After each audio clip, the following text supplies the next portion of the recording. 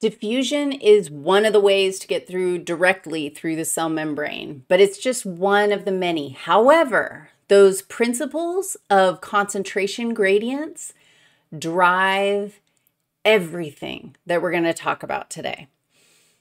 If something goes down the concentration gradient, it is easy, it rolls, it doesn't require any extra energy input because the moving molecules provide the energy to make it happen. All strategies that do not require extra energy input are passive strategies.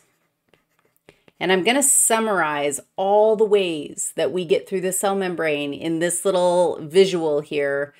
And then we're going to go into each specific example. You can imagine if we have a passive approach or a passive set of ways of getting through the cell membrane, we also have active strategies for getting through the cell membrane. Everything will fall into one of those categories.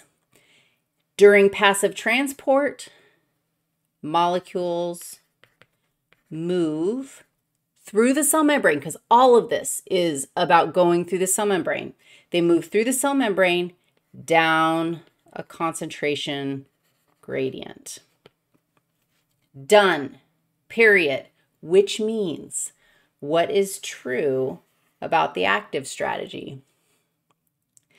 The molecules, molecules move up or against the concentration gradient. I'm going to put the word against because I that's how I describe it. If something moves against the concentration gradient, it's going to require energy.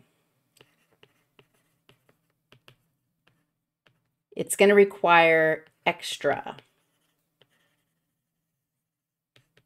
extra energy. And it's also going to require, it's also going to require a um, carrier. And maybe I should say here really fast carriers, hmm, carriers are proteins. And I want to say they're like protein machines that carry things through the cell membrane.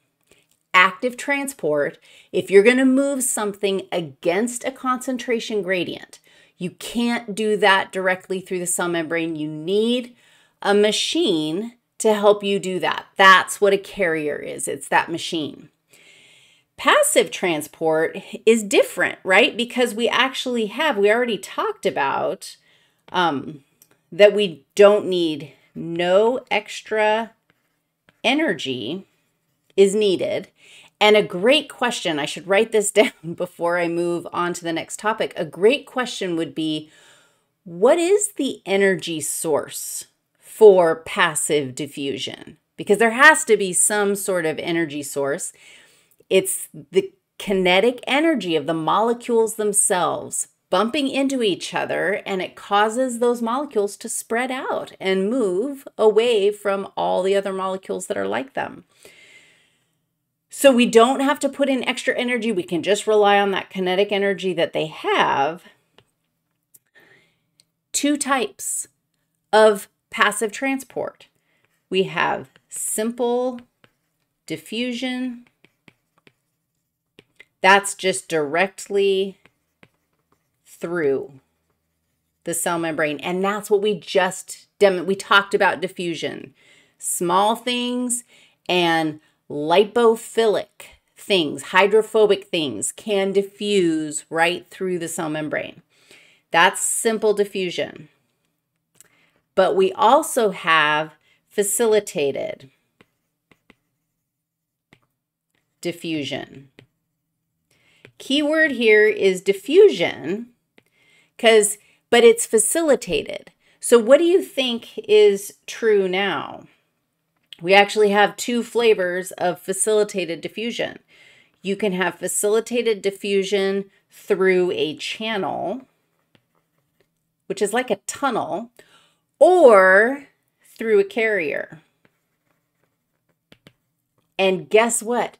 You know I'm going to talk to you about channels, carriers, and the difference between facilitated diffusion carriers and active transport carriers. Not entirely done with active transport because there actually are two kinds of active transport. Both of them require carriers. We have primary active transport. And if we had primary, what else do we have?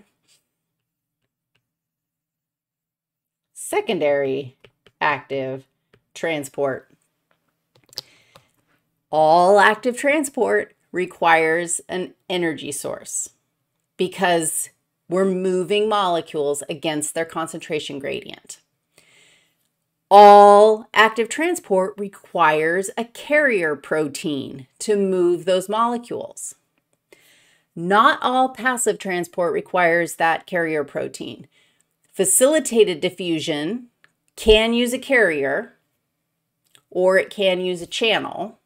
And simple diffusion doesn't need anybody. I don't need any help to get through the cell membrane if the thing is small or lipophilic.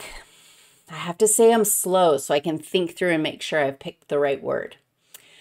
Now we get to look at, I'm going to show you all the things we're going to talk about specifically. We're going to talk about channels. We're going to talk about carriers for facilitated diffusion.